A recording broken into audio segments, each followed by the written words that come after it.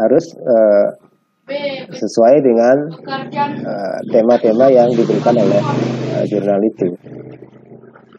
Nah, kemudian yang kedua, dalam filsafat penelitian, uh, di mana ranah agama itu ada, ranah, ranah agama dan uh, kebudayaan itu ada di uh, dalam filsafat penelitian itu ada di pos positif ya. Jadi lebih banyak penelitian-penelitian yang bersifat fenomenologi, kemudian interpretasi, kemudian deskriptif, etnografi dan lain sebagainya. Oleh karena itu, penelitian-penelitian yang sifat humanistik, keagamaan itu lebih cenderung ke post positivisme. Jadi ke ranah-ranah yang terkait dengan interpretasi, kemudian analisis konten, analisis uh, nilai dan seterusnya. Beda dengan penelitian yang sifat uh, positivistik. Jadi berbasis angka-angka gitu ya.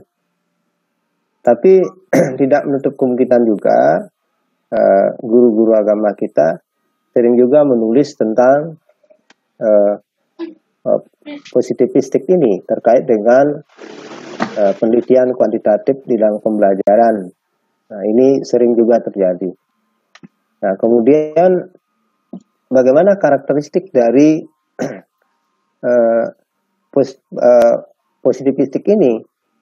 Kalau yang dalam uh, klasifikasi itu ada tiga, ada pra positivisme, ada positivistik, ada yang post positivistik. Nah, yang pra ini adalah metode penelitian yang bersifat kualitatif tapi bersifat alamiah. Ini biasanya eh, digunakan dalam eh, paradigma eh, ilmu-ilmu etnografi, ya, etnografi. Kemudian ada deskripsi tentang uh, apa namanya uh, suku bangsa ini digunakan dalam konteks ilmu-ilmu yang bersifat alamiah. Jadi antropologi di sana ini bagian dari uh, pra positivistik.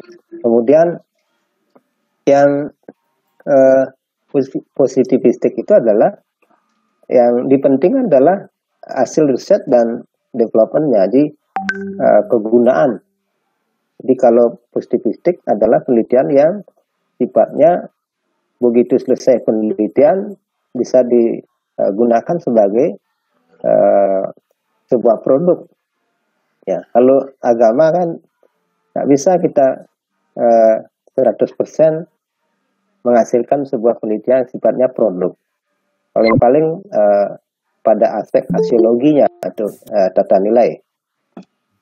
Nah, dari uh, positivistik ini eh, hal-hal yang terkait dengan uh, penelitian agama itu karakteristiknya ada di pra uh, positivistik dan juga ada post positivistik. Meskipun di positivistik ini juga tidak untuk kemungkinan, tetapi ranahnya tentu uh, tidak ke uh, produk, misalnya pertanian gitu. Kalau kalau sudah bicara tentang bagaimana uh, penanganan pertanian di uh, masa COVID-19 misalnya budidaya tanaman hidroponik misalnya itu bisa langsung diterapkan. Tapi kalau agama itu uh, uh, meskipun bisa diterapkan tetapi dalam konteks tentu dalam pendidikan ya. Kalau dalam produk itu belum belum bisa kita uh, gunakan sebagai dasar untuk melakukan sebuah penelitian. Kemudian juga ini uh, hasil penelitian juga, produk-produknya adalah hasil penelitian juga. Nah, sehingga artikel artikel-artikel yang masuk jurnal Scopus itu adalah lebih banyak bicara tentang uh, positivistik jadi yang dihitung itu adalah apa manfaat dari tulisan Anda ketika uh, dibaca oleh orang. Nah ini kalau uh, penelitian kualitatif itu biasanya uh, diragukan oleh konsorsium ilmu-ilmu yang bersifat eksata atau positivistik. Karena apa? Karena kebermanfaatannya tidak langsung. Tapi kalau penelitian-penelitian yang kuantitatif itu ke, kebermanfaatannya langsung berupa produk. Gitu. Nah, kemudian uh, untuk post positivistik itu adalah kualitatif ya. Jadi uh, Gerd mengatakan kalau positivistik itu adalah uh, ilmu yang menguji dalil, menguji teori, menguji hukum uh, dengan cara uh, logika verifikatif uh, observatif. Jadi logiko hipotetiko verifikatif.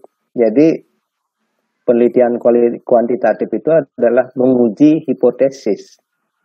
Tapi kalau penelitian kualitatif dan juga penelitian-penelitian yang bersifat agama dan kebudayaan itu adalah disebut oleh Gerd sebagai sains interpretatif.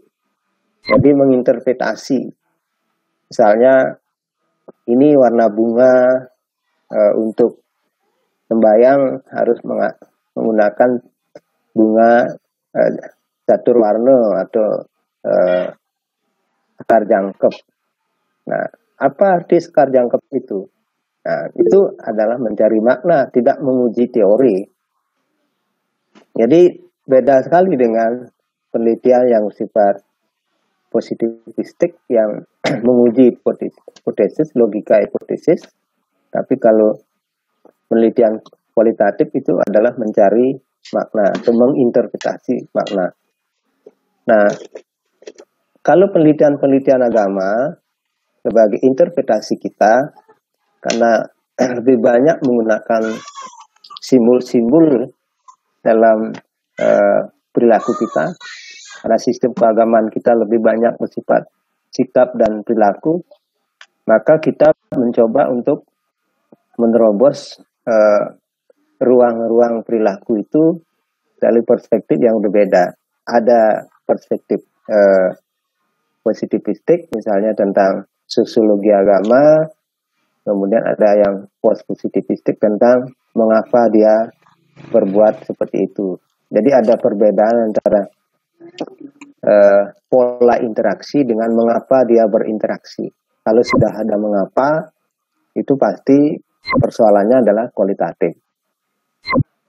Nah, kemudian uh, hakikat uh, riset itu adalah cara ilmiah untuk mendapatkan data atau informasi sebagaimana adanya dan bukan sebagaimana seharusnya dengan tujuan dan kegunaan tertentu. Jadi seorang penulis artikel berbasis riset itu adalah menyajikan data informasi sebagaimana adanya bukan seharusnya dan dengan tujuan dan kegunaan tertentu itu beda. Jadi eh, sebuah penelitian yang baik adalah sebenarnya adalah penelitian yang bebas nilai tidak ada kepentingan di sana. Misalnya kalau saya menulis tentang Banten, maka tujuan saya supaya Banten itu dianggap berguna, itu tidak bisa. Jadi kalau memang Banten itu tidak berguna, seorang peneliti harus memberikan data, kemudian informasi bahwa Banten itu tidak berguna, bukan karena harus berguna gitu. Nah, jadi oleh karena itu seorang peneliti itu tidak bisa dibeli sebenarnya. Jadi tidak boleh uh, mendapat proyek penelitian gitu. Artinya uh, dana yang diberikan harus menghasilkan sesuai dengan pesanan uh, si pemberi dana. Itu sebenarnya tidak boleh itu uh, dalam koridor ilmiah. Nah, oleh karena itu seorang peneliti itu hanya membeberkan data dan informasi apa adanya dan kemudian menganalisis sesuai dengan koridor akademik juga, koridor ilmiah. Misalnya kalau kita dapatkan data di lapangan A, kemudian ada sumber yang mengatakan B, maka kita analisis uh, mana yang sebenarnya kredibel, apakah data A yang bersifat emik atau data B yang bersifat etik. Jadi emik dan etik ini apa kata masyarakat itu uh, harus uh, apa namanya di di sebentar sebentar nih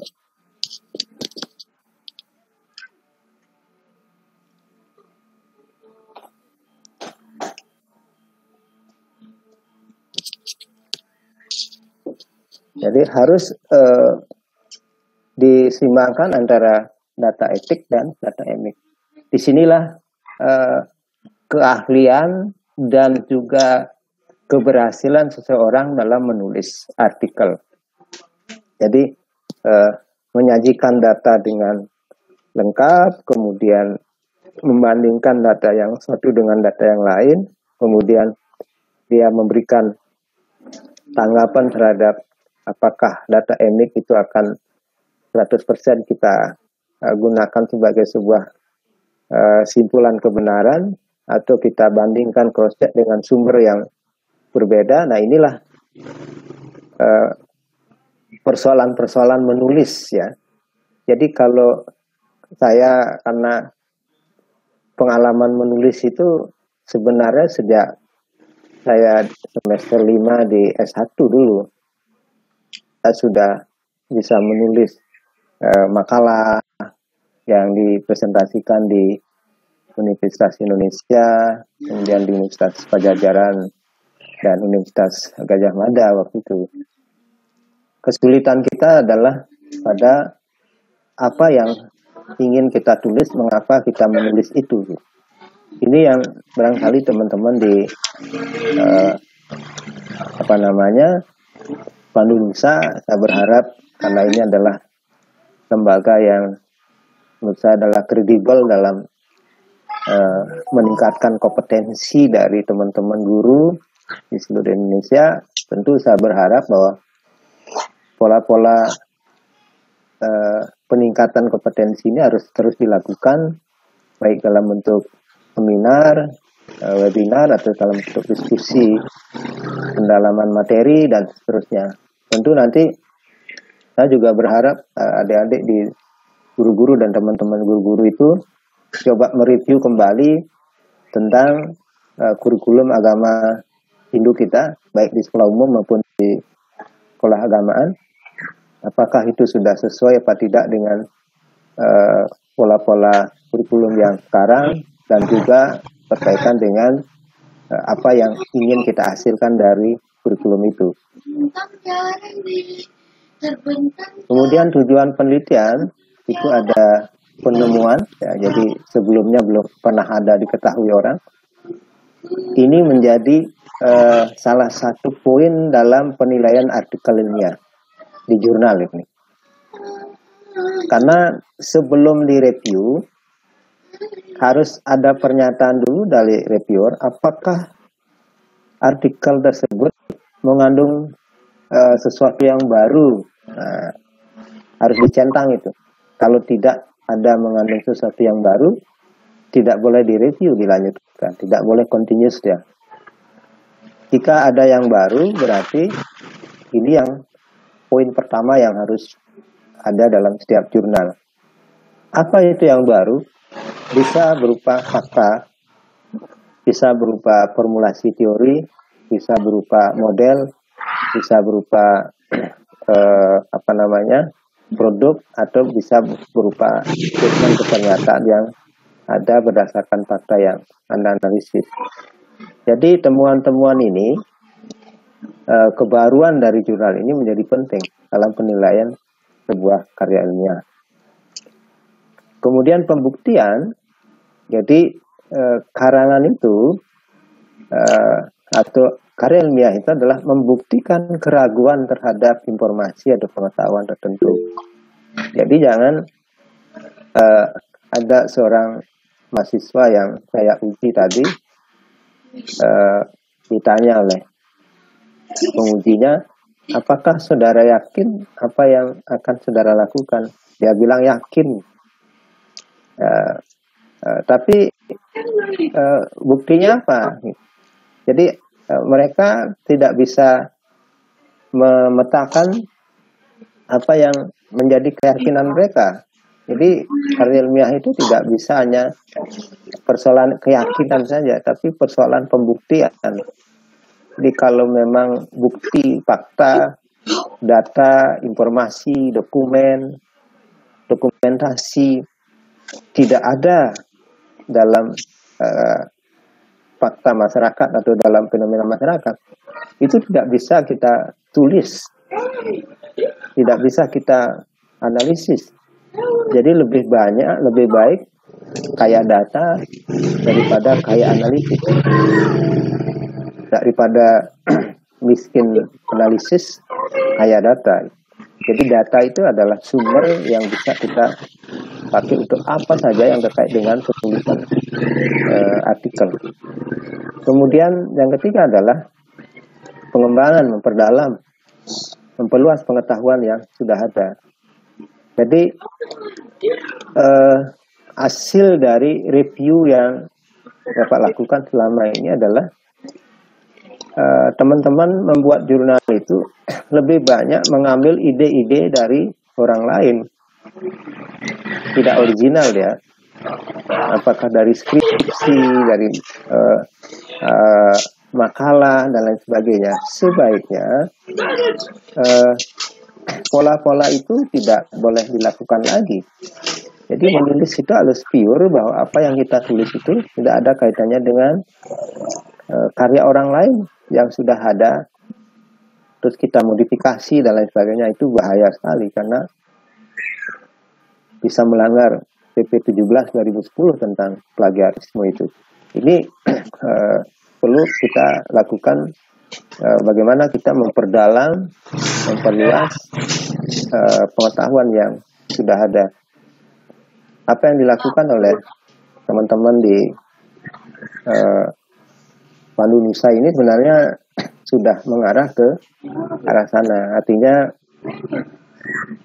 uh, kita asah di sini, kita diskusikan di sini, kemudian hasilnya adalah Anda teman-teman yang akan menikmati. Nah, kemudian dari tujuan itu secara kalau kuantitatif itu adalah tujuannya untuk hubungan antar variabel. Tadi saya katakan apa yang disampaikan oleh Le menguji teori, mencari generalisasi yang mempunyai nilai produktif atau prediktif. Nah, ini jelas sekali kuantitatif kalau kita bicara di sana, tapi bagi teman-teman yang sudah terbiasa dengan kuantitatif, saya kira uh, uh, lanjutkan itu gitu. Tapi kalau belum terbiasa dengan kuantitatif jangan jangan coba-coba karena ini persoalannya menguji teori. Jadi tidak tidak me, menginterpretasi. Kemudian kalau kualitatif itu adalah menemukan pola hubungan yang interaktif. Jadi pola hubungannya uh, bukan uh, menunjukkan hubungan antar tapi polanya. Menggambarkan realitas yang kompleks. Jadi penelitian kualitatif sangat uh, apa luas memperoleh pemahaman makna dan menemukan teori. Ini prinsip dari artikel yang saudara kalau saudara nanti menulis tentang artikel yang bersifat kualitatif maka harus ada empat prinsip itu uh, yang paling urgent adalah bagaimana kita membuat mendapatkan temuan baru? Apakah bersifat teoritis apa pun ataupun praktis? Itu adalah tujuan dari penulisan uh, kualitatif. Nah, masalah teknik ala data uh, karena ini lebih banyak berangkat pada fenomenologis, maka sangat berbeda dengan kualitatif. Jadi kalau kuantitatif itu bicara soal hitam dan putih. Jadi kalau tidak hitam pasti putih itu kuantitatif. kalau kualitatif itu uh, kalau tidak hitam pasti ada antara hitam dan putih namanya abu-abu. Jadi masih ada jalan tengah gitu. Ya. Kalau kuantitatif sudah tidak. Jadi 4 kali 4 itu sudah 16, tak bisa ditawar ya. Tapi kalau kualitatif 4 kali 4 bisa jadi 20. Tergantung kita. Mau 20 apa mau ya 25. Nah, padahal fenomena sosial tidak tak asas. Misalnya kita bicara tentang perilaku. Kalau perilaku itu kan temporer ya. Jadi kalau punya uang perilakunya baik. Kalau tidak punya uang, perilakunya tidak baik. Dalam hitungan menit itu. Kalau itu diukur, maka ukurannya tidak akurat. Nah, di situlah uh, apa ketidak konsistenan dari uh, penelitian kualitatif, kuantitatif yang bicara tentang subjek yang bergerak, emosi itu tidak bisa di diukur uh, secara uh, apa namanya secara konstan karena ya berubah-ubah berdasarkan uh, apa namanya situasi yang mereka hadapi. Nah, sekarang tahapan-tahapan analisis dari induktif dari satu yang khusus ke umum ya atau dari umum ke khusus deduktif induktif bisa campuran melakukan pengamatan terhadap fenomena sosial, identifikasi, kemudian pengecekan ulang, dan seterusnya, kemudian melakukan kategorisasi terhadap data yang diperoleh. Ini klasifikasinya sudah apa, kemudian menelusuri dan menjelaskan kategori itu, kemudian menjelaskan hubungan kategori, menarik kesimpulan umum dan membangun dan menjelaskan teori. Ini tahap yang induktif nanti. Kalau Anda menulis uh, artikel ini jangan bersifat metodologis, harus operasional. Jadi hal-hal yang Anda uh, jelaskan atau Anda akan kerjakan dalam sebuah penelitian itu harus operasional. Nah ini beberapa tentang analisis data saya kira Anda bisa baca di slide itu. Nah, saya akan lanjut pada ini. Sekarang baru menulis karelnya. Yang tadi itu basisnya riset ya. Jadi kalau eh, teman-teman nanti akan uh, menulis artikel berbasis riset begitu caranya. Karena di saya yakin Pak Ketua Sudarsano sudah mengajarkan bagaimana merangkai sebuah gagasan supaya menjadi sebuah artikel ilmiah. Nah, menulis karya ilmiah seperti yang saya katakan tadi, kita harus jelas dulu tujuannya apa. Ragam bahasa yang digunakan itu ada tiga yang ingin kita tulis. Di situ ada ilmiah, itu pasti sudah baku ada populer. Kalau teman-teman banyak menulis di media Hindu kemudian ada di koran ada di majalah uh, Rada dan seterusnya itu adalah ragamnya populer. Jadi uh, ada semi populer di sana juga. Di semi populer itu adalah juga menjelaskan sesuatu tetapi caranya dengan uh, pola populer. Yang mengalir begitu saja.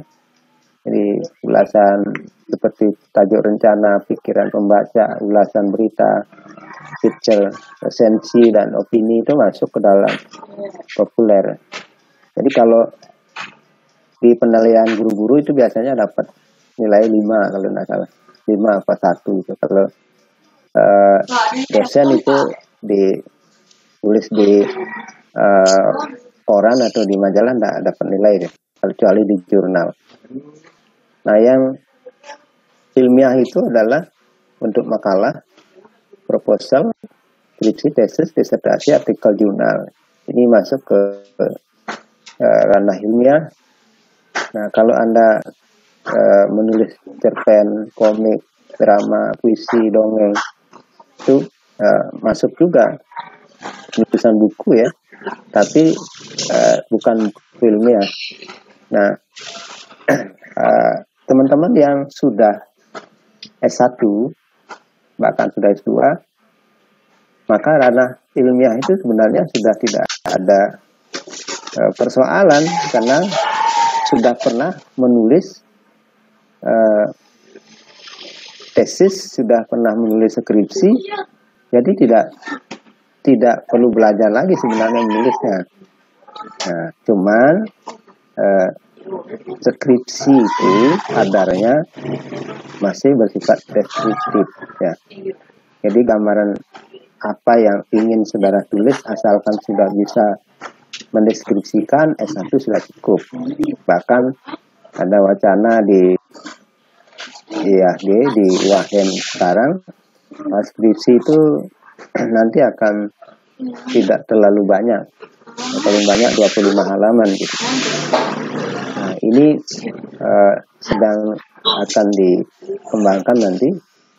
Sehingga kita tidak lagi menulis kritis dulu ya tebal-tebal tesis juga begitu disertasi juga gitu tidak perlu ada disertasi yang 700 halaman kemudian ada 400 halaman yang sangat susah sekali di, dibaca oleh penguji kemudian eh, karangan ilmiah itu tergolong antara lain seperti yang sudah terlihat di slide sebelumnya.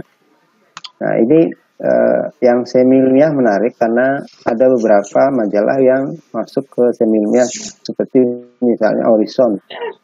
Majalah Horizon eh, adalah majalah yang semi ilmiah dan itu ditulis oleh orang-orang yang sangat terkenal dalam bidang menulis uh, apa namanya artikel di Horizon.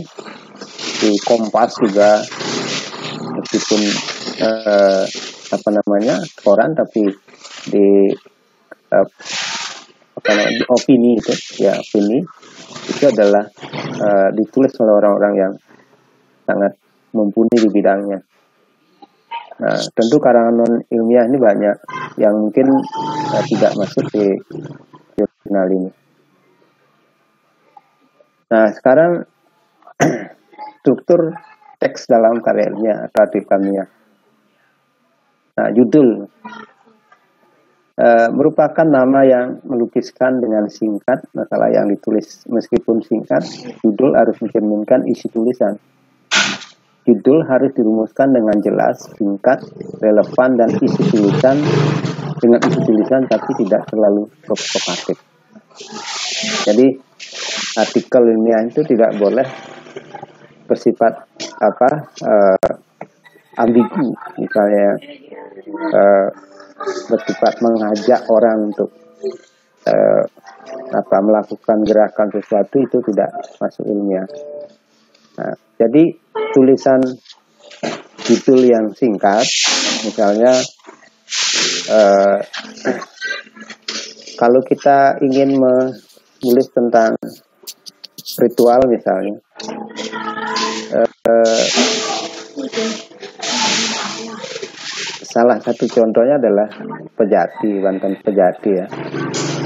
Uh, kalau ingin menulis agak uh, sensitif dan agak uh, akademik, jadi jangan uh, Banten Pejati yang dibuat, tapi uh, bagaimana Pejati dalam perspektif uh, apa namanya ilmu yang lain, uh, seperti misalnya di situ karena ada beras, ada unsur logam, kemudian ada uh, daun, bunga dan seterusnya. Nah ini uh, isi dari kejati itu bisa kita gunakan sebagai subtitlenya. Misalnya kajian tentang uh, apa unsur-unsur uh, kimia dalam uh, Banten Pejati karena di situ ada Arab ya. Kemudian ada tingkit ada pangi kemudian di situ ada juga uh, kelapa air kelapanya siapa. Itu menjadi satu bahasan yang menarik gitu ya. Meskipun satu pejati saya cukup satu artikel tapi dibahas dalam berbagai perspektif ya tidak hanya bicara soal spiritualnya tapi bicara tentang kadar ilmiah dari kenapa kelapa dipakai di situ. Tidak benda yang lain kelapa mengandung apa. Kemudian di situ ada uh, unsur air kemudian ada beremnya uh, kemudian ada unsur logam di sana. Pangi juga.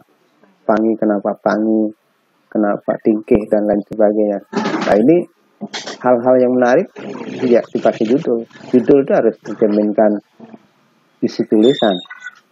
Jangan judulnya eh, terlalu apa bombastis misalnya, atau jangan judulnya terlalu ambigu, tidak mencerminkan antara judul isi. Nah itu yang. Yang kedua abstrak rangkuman singkat dari isi sebuah dokumen baik berupa laporan penelitian, artikel, skripsi, dan kertas kerja.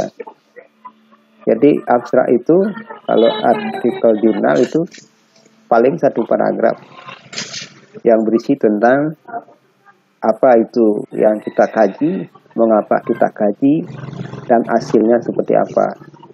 Nah itu yang terkuat dalam abstrak dan kemudian ada apa namanya uh, keywordnya ya kata kunci apa yang ada pada variabel judul itu menjadi kata kunci tapi tidak namanya kata kunci berarti jangan membuat kalimat kunci jadi kata kuncinya misalnya kalau artikelnya tentang pejati ya kata kuncinya pejati gitu. kemudian di pendahuluan nah ini sekali lagi ketika saya bergelut di dunia reviewer uh, pendahuluan itu sering kali uh, pola-pola penguraian itu uh, tidak meloncat kepada urgensi mengapa sebuah artikel itu mesti ditulis. Jadi pendahuluan itu adalah alasan mengapa judul itu kita tulis. Jadi di situ ada latar belakang permasalahan serta mengantar menuju maka, atau makalah atau menuju artikel. Jadi kebermanfaatan seperti apa, kemudian fenomenanya, kasolen dasarnya seperti apa. Nah, jadi latar belakang itu atau pendahuluan itu berisi tentang apa dan mengapa. Apa yang Anda tulis, mengapa Anda menulis, bukan karena uh, ingin menulis karena dekat, karena ada waktu luang, ada apa namanya uh, ide tiba-tiba dan sebagainya, itu tidak bisa kita terima secara akademik seperti itu. Tapi urgensinya adalah mengapa itu ditulis karena ada saudara melihat satu fenomena itu kok tidak sesuai dengan kenyataan.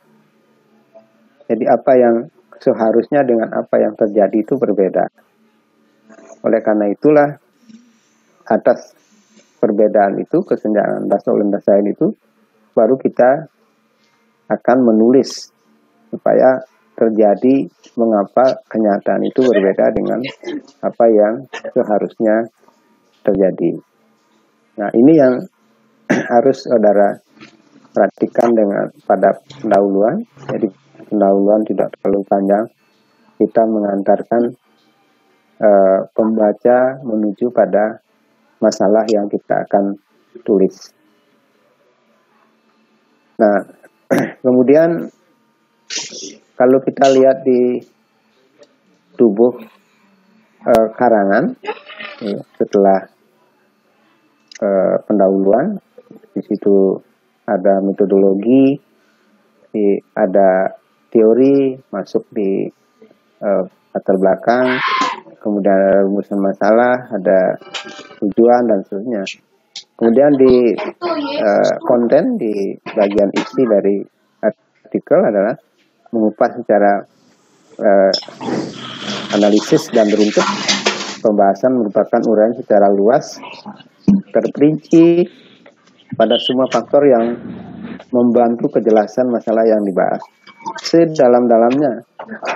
Dan itu perlu dijelaskan uh, tentang deskripsi data satuan analisis data interpretasi interpretasi dan tentang pengolahan data itu sendiri. Jadi di situ sudah bicara tentang analisis.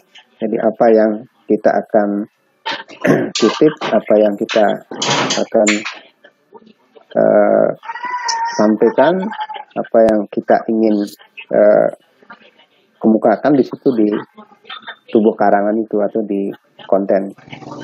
Kemudian baru pada simpulan, simpulan itu adalah singkat, jelas, tegas dari hasil analisis data, tafsiran terhadap analisis data dan hipotesis diterima atau tidak. Kalau kualitatif pasti tentu tentang jawaban hipotesis. Tapi kalau kualitatif itu bicara tentang hasil analisis.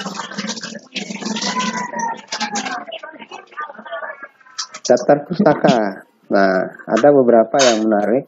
Jadi, kalau karangan ilmiah itu sebaiknya tidak mengambil sumber acuan di internet yang berupa uh, apa namanya uh, Wikipedia uh, atau yang lain. Tapi yang paling bagus adalah mengambil dari jurnal.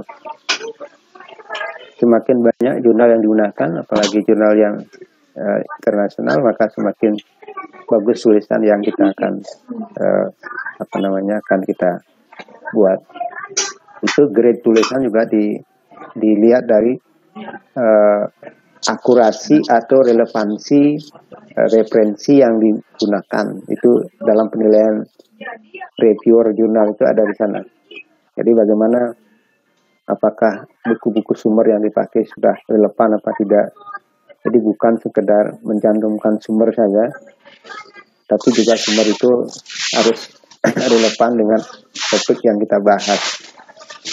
Kemudian data-data pendukung dari karya itu uh, harus kita lakukan kalau ada lampiran-lampiran bisa dilampirkan uh, tapi kalau dalam artikelnya biasanya masuk ke konten analisis ya. Jadi ke ke tubuh uh, karangan.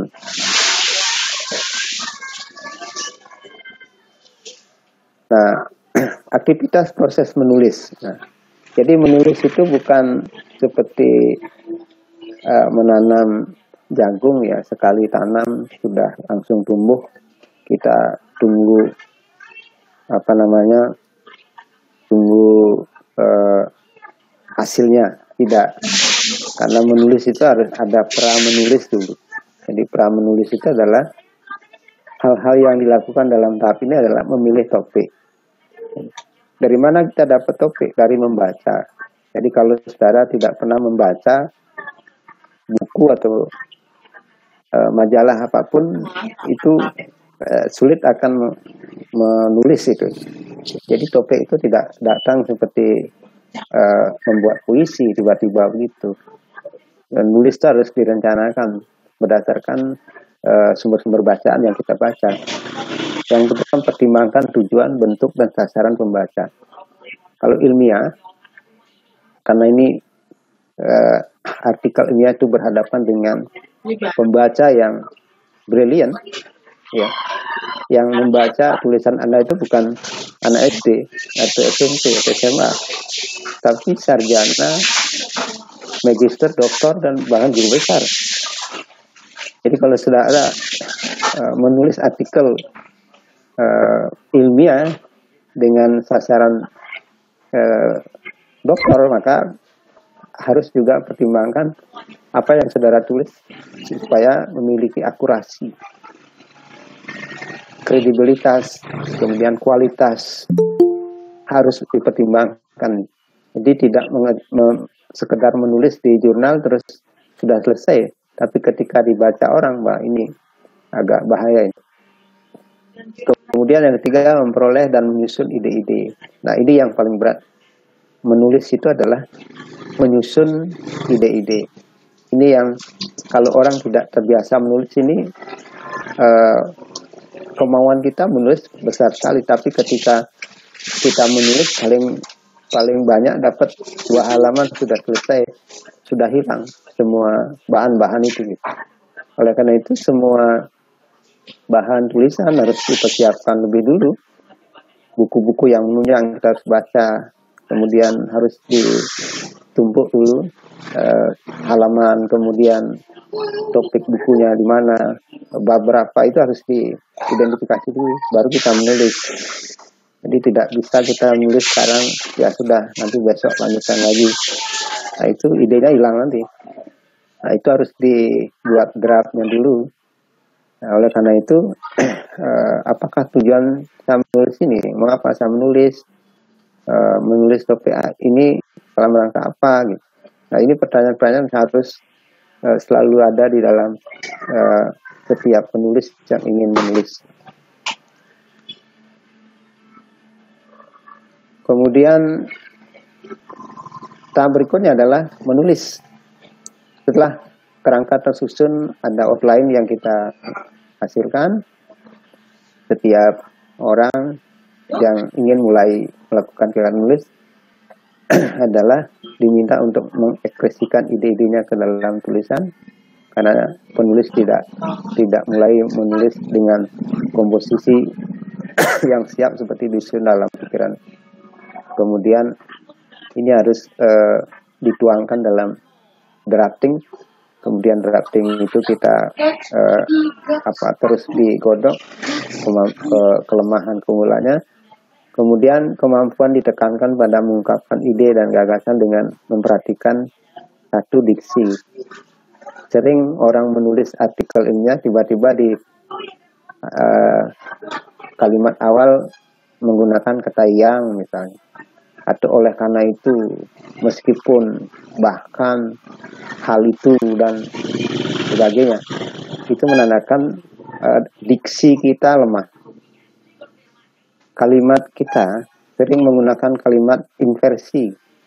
Artinya kalimat yang tepat dalam akarnya adalah SPO. SPOK. Jadi subjek, predikat, objek. Jadi tidak boleh ada subjek diganti oleh predikat misalnya. Nah, itu aturan-aturan yang harus dilakukan.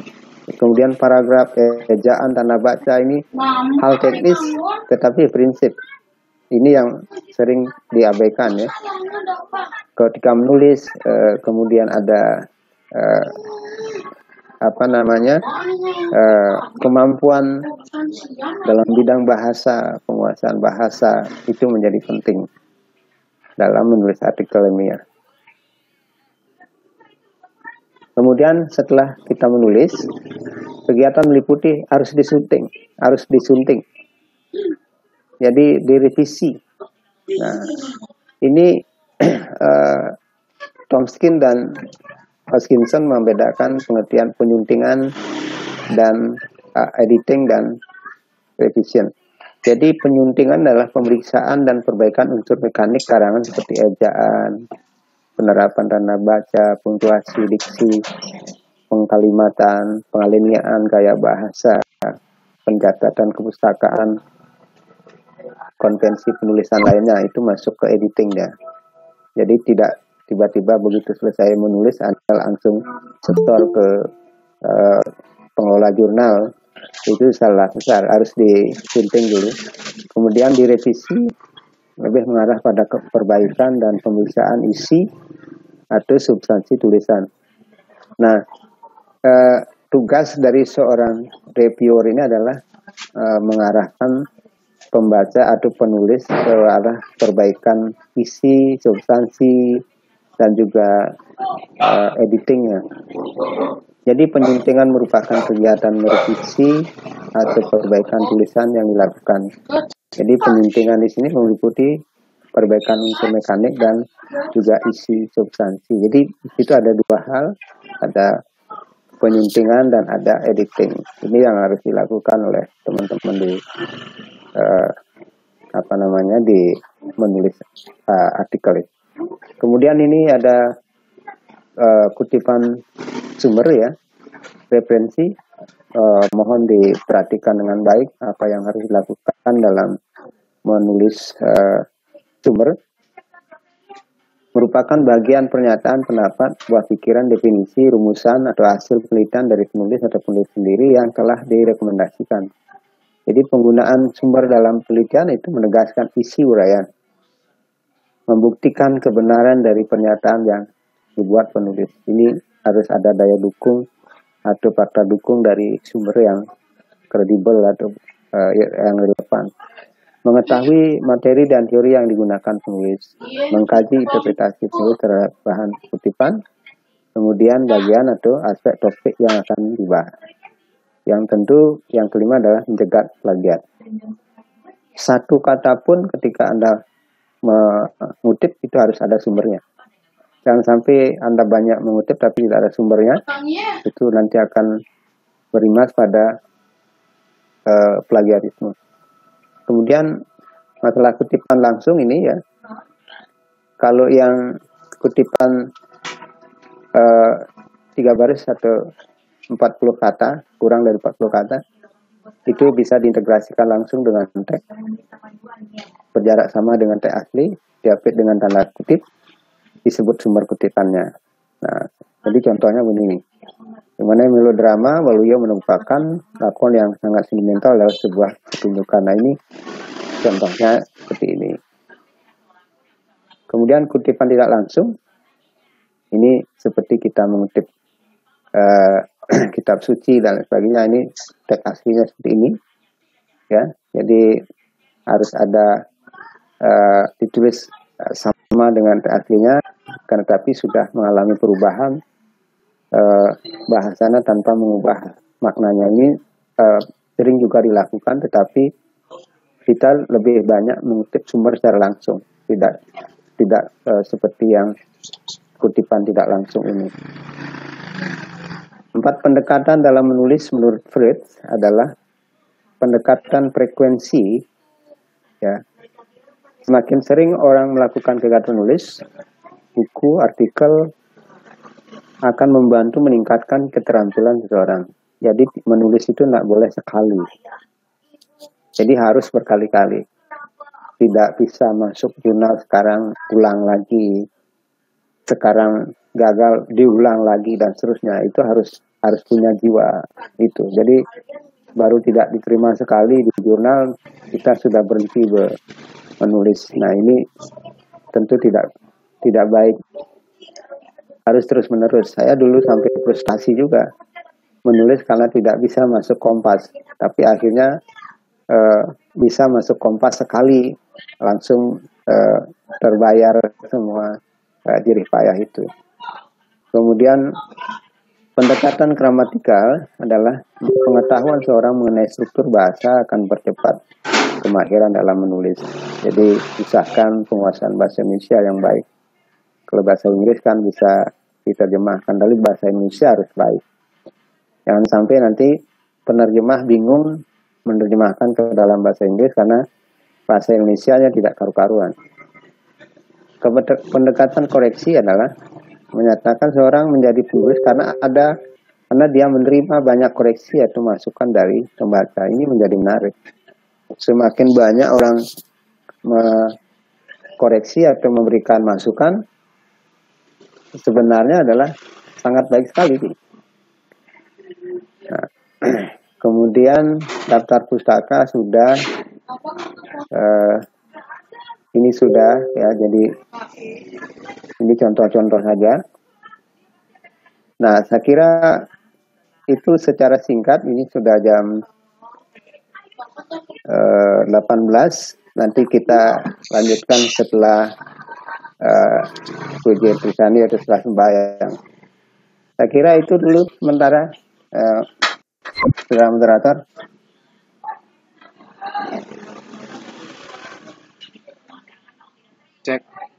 Uh, baik Pak Prof. Ya. Kami mengucapkan terima kasih sekali Pak Prof Ya. atas uh, apa namanya penyampaiannya. Sedikit tidaknya ada beberapa hal yang belum menjadi catatan Halo. Prof. Uh, kami review untuk materi dari Pak Ketut Sudarsana. Halo. Bisa didengar Pak Prof? Ya, sudah, sudah. Ya. Oke.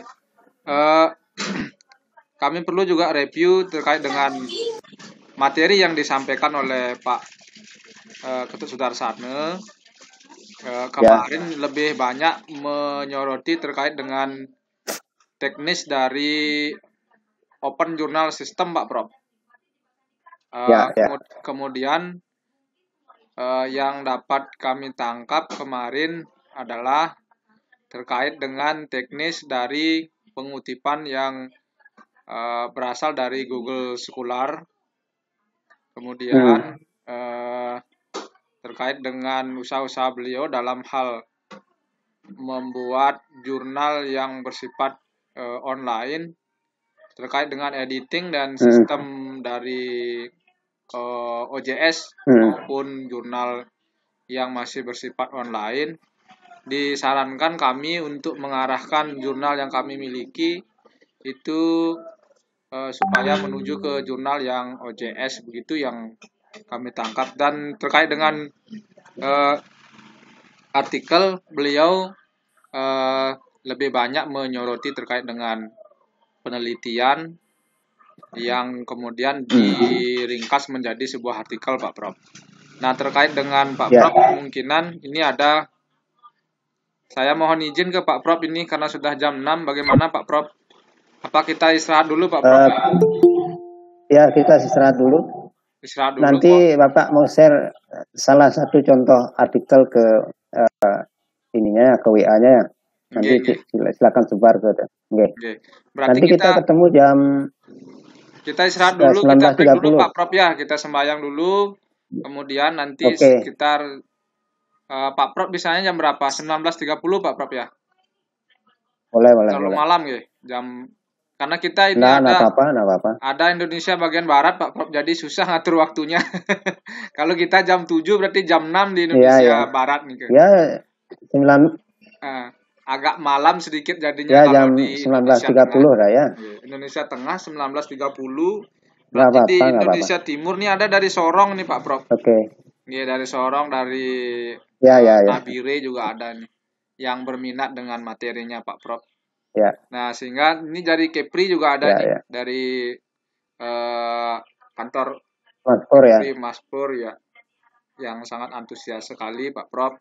Eh, dengan begitu Ya. yang tidak Ya, tutup ya. dengan Pramesanti Pak Prof. Nanti eh, berikutnya pertanyaan-pertanyaan Siap, di siap, room siap. chat saya catat dulu Pak Prof ya. Sebentar untuk kita lanjutkan Ya, dengan ya, diskusi yang sekiranya lebih banyak diskusi yang karena di sini ada Ya, boleh, boleh. sebagian besar saya lihat ini sudah pada S1 semua ini Pak Prof ini. Ada sudah Ya, ya. bahkan Ah, ada yang Oke, S2 oke. gitu. Nggih Pak Prof nggih, nanti tiang catat dulu Pak Prof Siap, Pak. Prof tiang izinkan untuk meninggalkan room dulu untuk beristirahat. Bapak Ya, Ibu ya. jangan lupa Oke, sebentar oke. pukul 19.30 waktu Indonesia bagian tengah eh, atau Ya. 18.30 ya setelah selesai sembahyang 18.30 waktu Indonesia Barat 19.30 waktu Indonesia bagian tengah dan 20.30 setengah 9 malam waktu Indonesia bagian timur supaya tidak terlalu malam nanti kita batasi untuk diskusinya sekitar satu jam saja sehingga untuk Indonesia bagian timur jam 10 kita sudah eh, tutup untuk acara diskusinya demikian Pak Prof Eh, dipersilahkan Oke, untuk siap. beristirahat dulu. oke. Ya, tutup aja dulu ya. Oke Pak Prof, durus durus.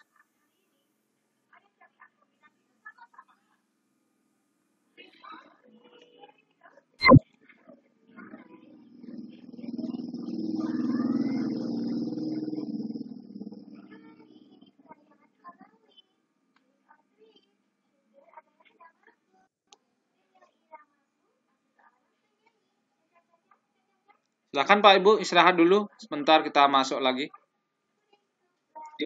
Belum ada sama saudara sana. Belum ada saudara sana. Cara kiap saja belum ada. Ngopi malu beli.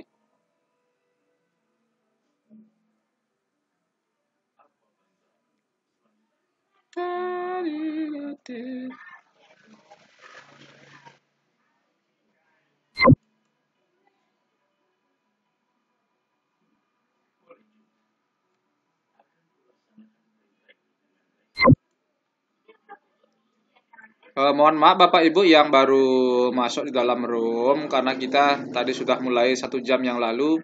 Sekarang waktunya untuk beristirahat. Kita akan lanjutkan pukul 19.30 ya waktu Indonesia bagian tengah atau 18.30 waktu Indonesia bagian barat.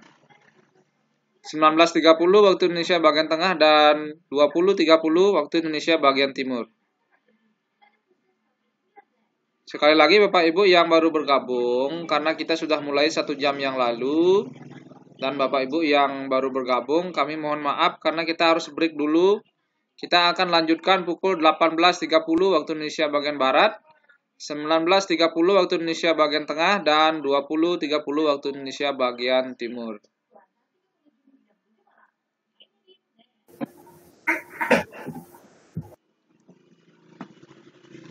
Silakan istirahat dulu untuk uh, tenaga yang lebih fresh lagi sebentar. Pertanyaan-pertanyaan yang ada di dalam chat room kami akan catat dulu. Sebentar akan disampaikan kepada Bapak Prof.